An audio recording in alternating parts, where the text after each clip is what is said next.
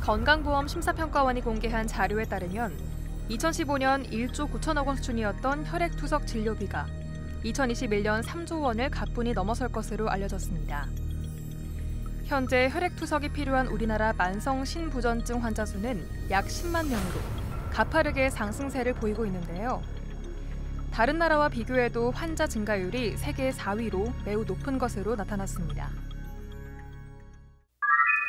어, 쉽게 설명드리기 위해서 신장을 이렇게 사람이라고 생각을 해보겠습니다.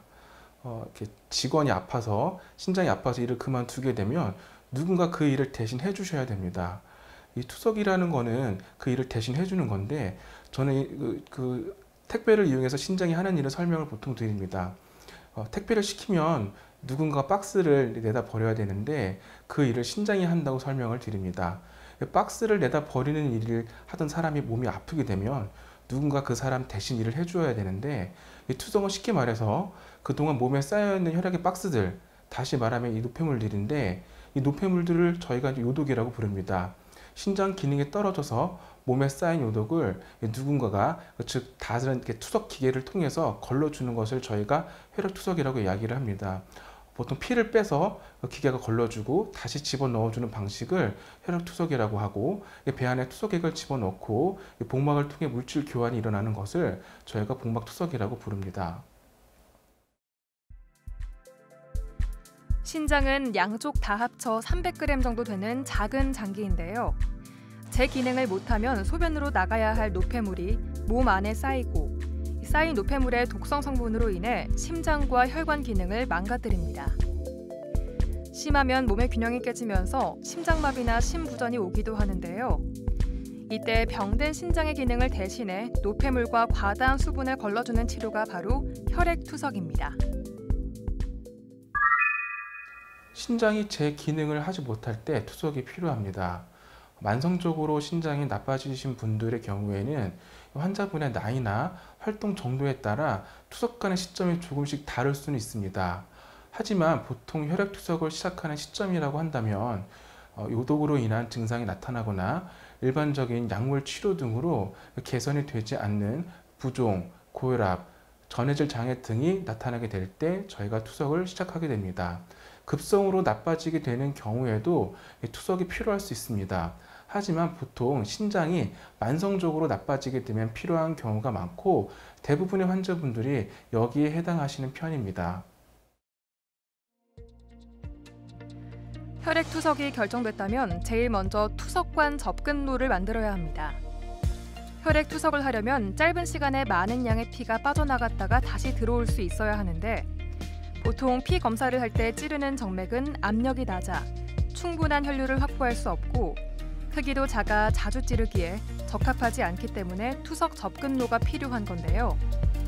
한마디로 투석 접근로는 혈액 투석 환자에게는 생명줄이라 할 수 있습니다.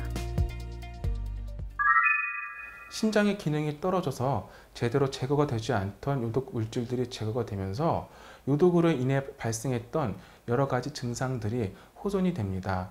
잘 알려진 요독 증상들로는 식욕 감소, 오심, 피로감 등이 있고 이러한 증상들은 투석으로 인해 크게 호전이 됩니다. 특히 요즘에는 투석막 기술이 많이 발전해서 이전에는 잘 제거가 되지 않는다고 여겨지던 큰 요독 물질들도 잘 제거가 됩니다. 간지러움증이 굉장히 조절하기 어려운 요독 증상 중 하나였는데요. 요즘에는 간지러움증도 많이 호전을 보이고 있습니다. 또한 수분 그리고 전해질 조절 등이 좀 더 수월해집니다. 혈액투석 치료를 받으면 말기 신부전증의 증상들은 상당수 좋아지지만 지질 대사 이상, 빈혈, 면역 기능 장애, 부갑상샘 기능 장애 등은 투석 치료와 관계없이 계속 지속하는 경향이 있습니다. 실제로 혈액 투석 환자의 경우 다른 약들도 함께 먹는 경우가 대부분인데요. 한 연구에 따르면 노인 혈액투석 환자가 하루 동안 복용하는 약물 개수는 10개 미만이 약 32%, 11개에서 15개가 약 37%, 16개에서 20개가 약 18%나 됐습니다. 신장이 나쁜 분들은 심장이 같이 나쁠 가능성이 높습니다. 이름만 비슷할 뿐 아니라 친구 따라 강남 간다고 신장이 나쁜 환자는 심장도 같이 나빠지는 경우가 많습니다. 때문에 심장과 혈관의 합병증을 저희는 가장 중요하게 생각합니다. 목숨과도 직결되기 때문입니다. 그 외에도 빈혈도 잘 발생하기 때문에 지속적으로 조혈 주사를 맞아야 하는 경우도 많습니다. 피를 뽑아 투석을 하는 것이다 보니 지속적인 실혈이 있을 수밖에 없습니다. 그래서 철분제도 같이 복용하는 경우가 많습니다. 또한 부갑상선 기능 항진증으로 인해 뼈 대사에 장애가 생겨 골절 등의 합병증도 일반인보다 더 흔하게 발생합니다. 특히 면역력이 약해져 폐렴과 같은 감염 질환이 잘 걸리게 됩니다. 이는 혈액 투석이 나빠서라기보다 투석해야 할 만큼 신장이 나쁜 분들이 갖는 생리적인 특징이라고 봐야 합니다. 그리고 이러한 생리적인 특징이 나타나는 이유로 신장 기능이 떨어지게 되면서 요독이 많이 쌓이기 때문입니다. 그래서 투석을 통하여 요독을 잘 제거해 주는 것이 중요합니다. 혈액 투석은 미리 팔혈관을 이어서 만든 투석 접근로에 두 개의 바늘을 삽입한 뒤 투석기인 인공신장기와 투석막 필터를 이용해 1회 4시간씩 일주일에 3회에 걸쳐 시행합니다. 투석막을 경계로 한쪽에는 노폐물이 축적된 환자의 혈액을 다른 한편에는 정상인의 세포 외액과 조성이 비슷한 투석액을 서로 반대 방향으로 흐르게 하는데요. 이때 혈액 속의 세포, 단백질과 같은 중요한 물질은 피 속에 남기고 축적된 요소와 다른 노폐물, 과다한 수분은 투석막을 통과하여 제거합니다. 투석 접근로에 문제가 발생할 경우 당장 투석을 하지 못하게 됩니다. 평소 관리가 잘 되지 않아 투석간 체중이 많이 느는 분들이나 고칼륨 혈증과 같은 전해질 장애가 자주 생기는 분들의 경우 바로 투석을 못하고 지연이 될 수도 있습니다. 특히 금요일, 토요일에 마지막 투석을 하고 월요일 혹은 화요일에 내원하는 날 이때 여러 가지 사고가 잘 생기는 편입니다. 특히 이런 경우 투석관이 망가져서 바로 투석을 못하게 되는 경우에 어, 심정지와 같은 심각한 합병증이 발생할 수도 있습니다. 또한 접근로가 완전히 망가져서 임시투석관을 삽입할 경우 이로 인한 감염 등의 합병증으로 굉장히 고생을 하게 됩니다. 입원 기간이 길어진다든지 병원비가 늘어난다든지 이런 문제는 말할 것도 없습니다. 그리고 위에서 요독을 제거하는 것이 중요하다 말씀을 드렸는데요. 투석 접근로의 기능이 떨어지게 되면 이 요독을 제거하는 효율이 떨어지게 됩니다. 투석 접근로는 만성 신부전증 환자의 생명과 직결된 만큼 철저한 관리를 통해 협착이나 혈전이 발생하지 않도록 세심한 관리와 주의가 필요합니다. 투석 접근로와 관련된 합병증으로 성숙 구전, 감염, 협착, 혈전 형성 등을 들 수 있는데요. 특히 혈관이 막히는 협착의 경우 적절한 치료를 하지 않으면 혈관 내에 혈전이 생겨 치료를 어렵게 만들 수 있습니다. 투석 접근로가 있는 팔을 다치지 않도록 주의해야 합니다. 또한 그쪽 팔로 무거운 물건을 들거나 심한 운동을 삼가해야 합니다. 투석 후 바늘을 꽂았던 부위는 일회용 밴드를 붙이고 24시간 정도 지나면 떼도록 합니다. 샤워나 목욕은 그 이후에 하는 것이 좋습니다. 바늘을 꽂은 부위에서 피가 새어나오면 깨끗한 솜이나 거즈를 눌러서 지혈시킨 후에 일회용 밴드를 붙입니다. 매일 동정맥루를 만져서 슉슉 혈류가 지나가는 느낌이 느껴져야 합니다. 이러한 느낌이 약해지지 않는지 확인하셔야 합니다. 혹시 출혈이 있거나 분비물이 나오는 등의 증상이 있다면 바로 병원에서 확인받아야 합니다. 감염되지 않도록 깨끗이 씻어야 하며 동정맥류 주변에 있는 딱지는 함부로 떼어서는 안 됩니다. 혈액 투석은 보통 일주일에 3회 정도를 실시하게 됩니다. 주기적으로 투석 접근로에 굵은 바늘을 꽂았다 빼기 때문에 혈관에 손상이 생길 수 있는데요. 지속적인 손상과 혈 역학적인 변화로 인해 투석 접근로의 평균 수명은 4년여 정도로 결국 신체의 다른 곳에 새로운 투석 접근로를 만들어야 합니다. 또 평균 수명을 다하지 않았다 하더라도 문제가 생기면 바로 의료진을 찾아야 합니다. 평소 투석 접근로에서 슉슉 느껴지던 혈류가 사라진 경우 막혔을 가능성이 높기 때문에 병원에서 확인받아야 합니다. 투석 접근로 주변부로 붉게 염증성 병변이 있거나 통증이 느껴지는 경우, 고름이나 분비물이 나오는 경우 바로 확인받아야 합니다.